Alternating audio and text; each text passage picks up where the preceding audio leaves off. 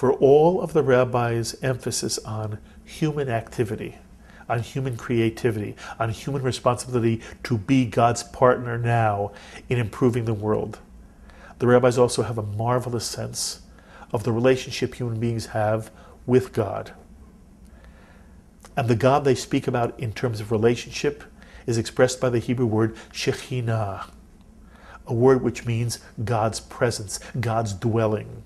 And in the metaphor of the Midrash, the poetry of the Midrash, we are told that the Shekhinah walks at the right hand of every human being. And the only question is, how often are we aware of the Shekhinah and the Shekhinah's presence? And what is the sense of the Shekhinah? Is it, it's a sense that what we do on earth in our relationship with other people has cosmic divine meaning. That it's, it's not unimportant how we live our lives. That it's important how we improve this world. It's important how we treat other people. It's important to be a lovely human being. It's important to the God of this universe. And it's not a God who looks like us, who talks like us, who acts like us. It's a God of mystery. But it's a God who every now and then gives a sense of presence to every one of us. And I am convinced that every human being on earth, by the way, Jew and non Jew, at one moment or another senses the presence of something greater.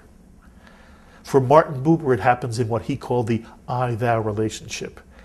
That in the I thou relationship, one senses that there is something present even greater than the other human being one is standing opposite. For Heschel, it's a sense of awe, awe at the mystery that stands behind the universe. For the great commentator Ibn Ezra, it was what the Israelites experienced at Sinai when they heard only one word, amazing. In this midrash, only one word was given at Sinai. Anochi, the first word of the Ten Commandments, which means I or I am. The Jewish people have understood one thing every now and then, only every now and then, human beings experience the I am of the Shekhinah. And in that moment, one has an overwhelming sense of the confirmation, the goodness, that being a lovely person, even when it is not in one's self interest, is of divine meaning. It's the sense of Jewish commandment.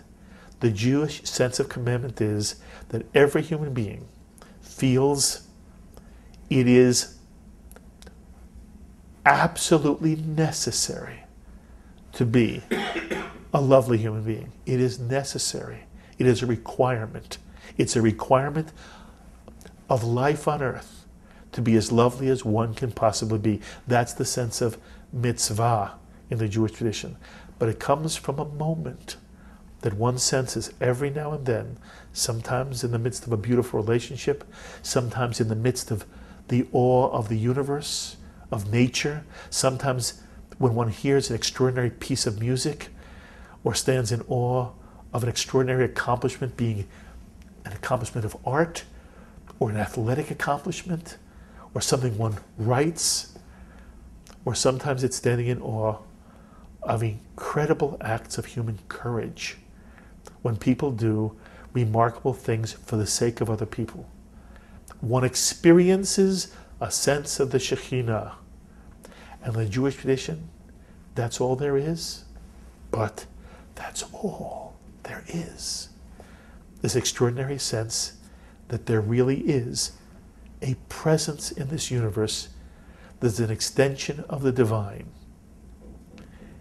It's no more, but it's everything at the same moment.